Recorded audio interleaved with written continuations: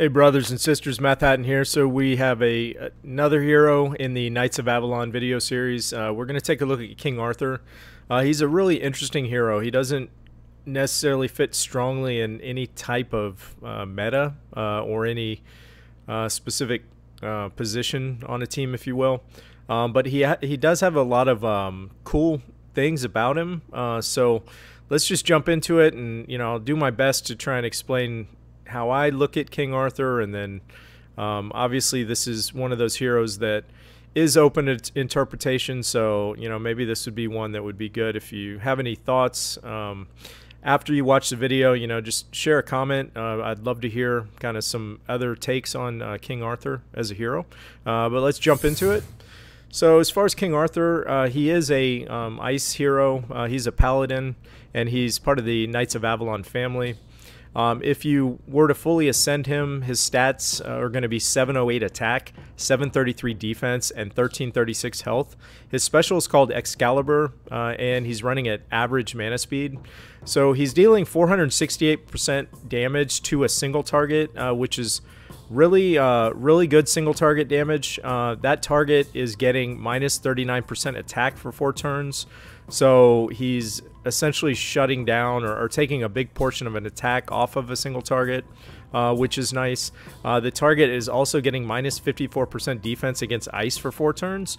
Uh, so, you know, again, a single target, but it's really nice that uh, King Arthur is lowering the defense against ice. Um, it's not your traditional elemental defense down where it's you know affecting multiple targets. It is only one target on the team, uh, so keep that in mind. And then he's also getting plus 74% defense against special skills for four turns, again, only for himself. So he's really increasing his defense and protecting himself, but he's not necessarily helping anybody around him.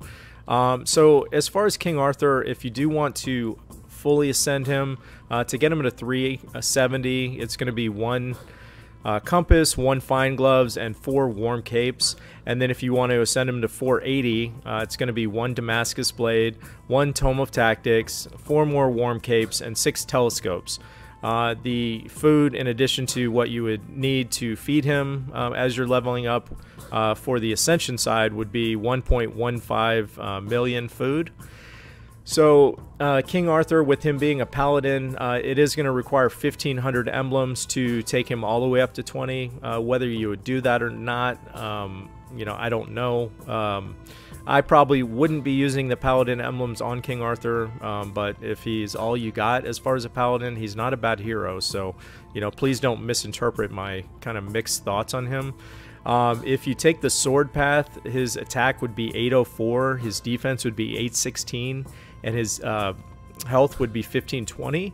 And then if the shield path uh, would be 759 attack, 870 defense, and 1448 health. So if I were to ascend him, I, I probably, um, as a paladin, would take him uh, on the sword path. Actually, uh, most of the paladins that you'd want to level up would be uh, probably the shield path.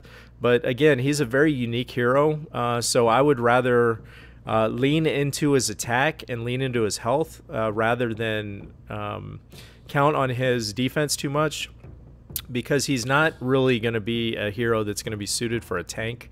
Uh, just because he's really looking out for himself and he's not really doing much for you know the the heroes that are around him on the team.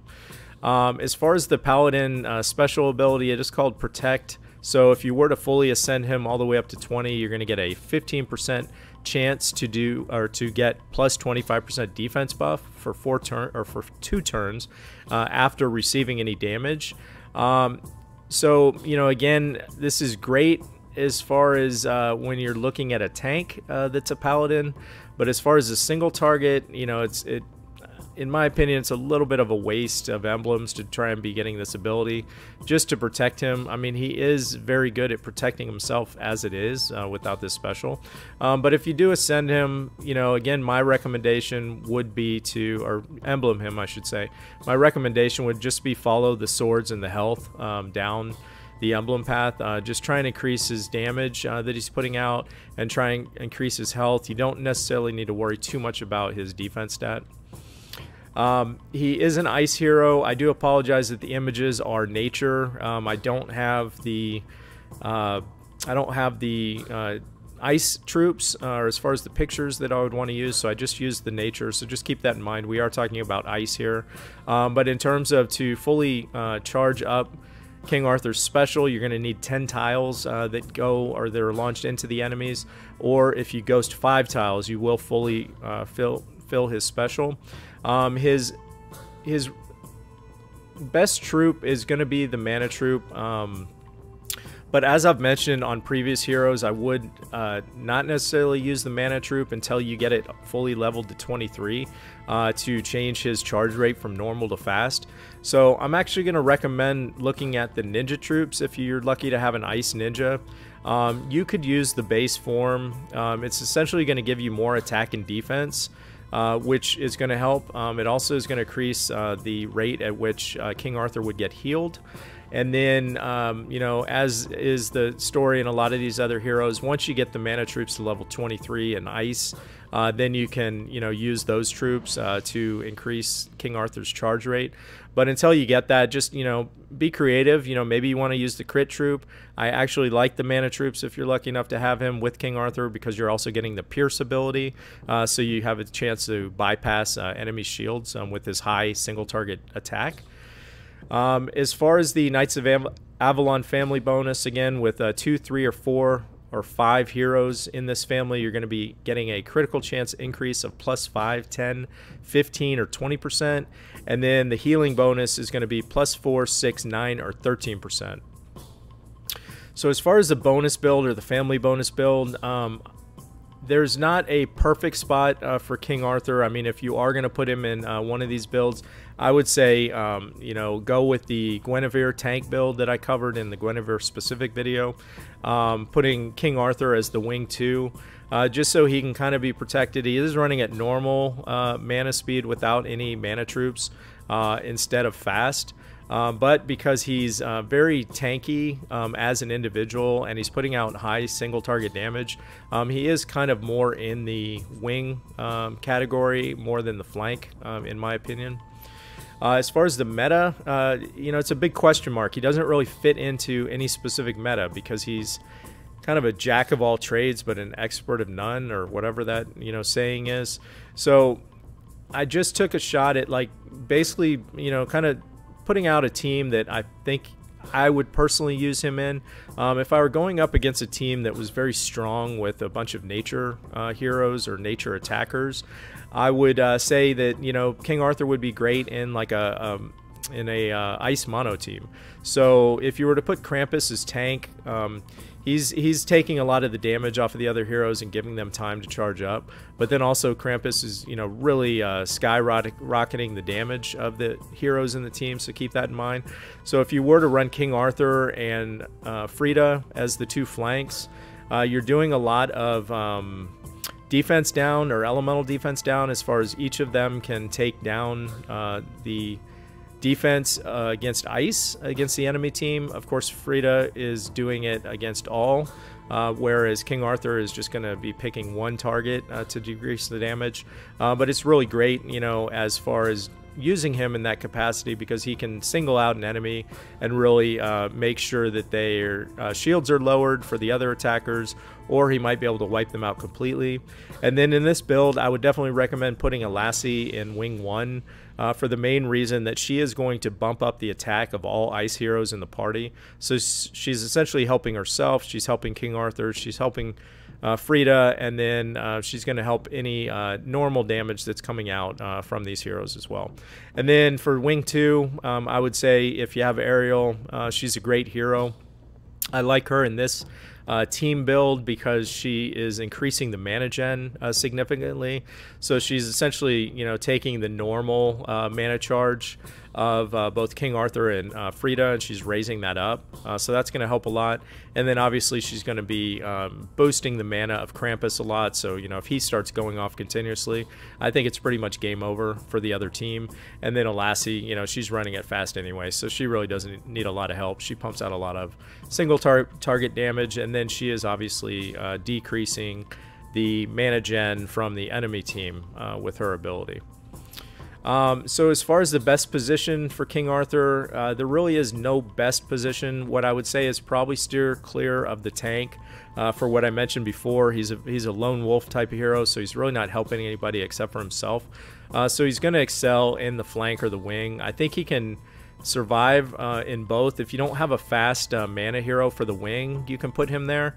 Um, if you do have a couple uh, fast mana um, heroes, then you know keep those in the wing and go ahead and put him in the flank because um, he is he is pretty tanky, so he can protect himself pretty well if the tank does happen to go down. As far as uh, Titans, he is going to be an A uh, against Fire Titans uh, with the elemental defense down on the single target. Um, that is great against Titans, so. Uh, you could use him in place of uh, Frida if you don't have uh, her that you normally use against the Ice Titans. Uh, so he's pretty pretty darn good, hero uh, as far as against Fire Titans. Uh, for Wars, um, he does get an A because he is a very unique hero in that you could use him in a lot of, against a lot of different teams. Um, you know, especially if you're going into a war and the other team is running nature tanks. Uh, King Arthur uh, or multiple copies of him would be really helpful. Um, on defense, I'm going to give him a B. Um, he is close to getting a C in my opinion, but he does have some use. It's just without you controlling him um, as a player, you know, he's he's doing a lot of single target stuff, and you really have no idea who he's going to be firing into on the defense. Uh, so he's not a not a horrible hero, but he's definitely not an A. Uh, in raids, again, same with wars. I do like his uh, ability to really focus in on some some uh, specific needs uh, that you would need him to fill. Uh, so he'll get an A there. And then tourneys, um, you know, he he is going to perform well in all the tourneys. Um, you know. He's good in uh, rush attack. He's good in bloody battle uh, because he's keeping himself alive. And without those healers uh, in bloody battle, you know he's he's really going to do a good job of still being able to pump out the damage but staying alive. And then you know in the buff, um, I, I think he does pretty well as uh, in addition to uh, the other tourneys because he can uh, put a lot of buffs um, on the enemy or debuffs I should say and then he's also buffing himself so uh, in the events um, you know he's he's a very strong hero as a standalone hero so events he's going to get an A as well I would say overall you know I was torn on King Arthur you know all he, although he is an A he is very uh, niche uh, as far as his use. So I'm going to go ahead and give him an A overall. Um, he might be a B plus in or, or, B in some people's perspective, but if you have the right heroes to surround him with, you know, don't get me wrong. He he does have a lot of powerful uh, things that are going on with his special. It's just really all about knowing when to use him and using him in you know kind of the right time and the right place. Uh, so if you do uh, appreciate these um, in-depth reviews, you know, definitely like and subscribe. It definitely helps out uh, the channel. And um, otherwise, we will be getting a, a uh, new video out shortly. So thanks for tuning into this one, and we hope to see you soon on the next one. Take care, everybody.